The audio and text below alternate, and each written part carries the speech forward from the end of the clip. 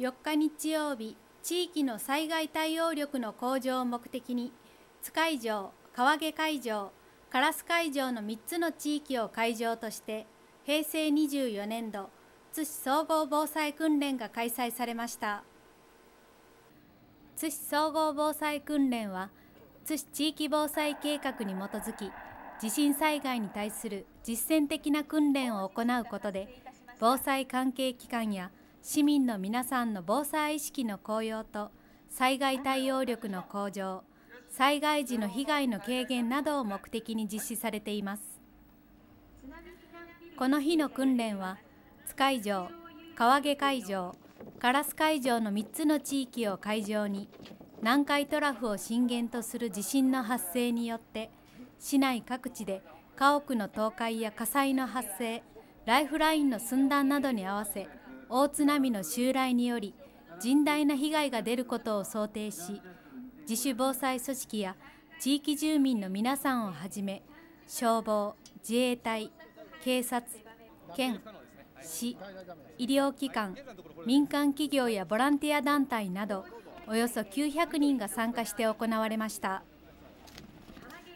メイン会場である津会場には災害対策本部の設置に伴う情報収集や負傷者の現状を把握するための現地式調整本部の開設が行われるなど災害発生時に必要な主要拠点の設営が行われ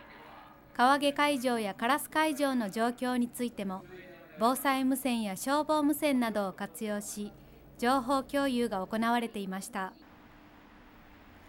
また津波避難ビルとして指定をしている津中央郵便局への一時避難訓練や倒壊家屋土砂災害車両事故からの人命救助訓練応急救護所訓練などさまざまな状況を想定した訓練が行われ訓練参加者は実際の災害現場さながら全力で訓練に取り組んでいました。最後に災害対策本部長の前橋長から極めて実践的な訓練が行え今後の災害への備えとなりました。今後は災害対策本部の役割をさらに検討していきたいと思いますと公表が行われその後外部評価者として三重大学防災室の林克美室長は広い地域に異なる地域特性を持つ津市は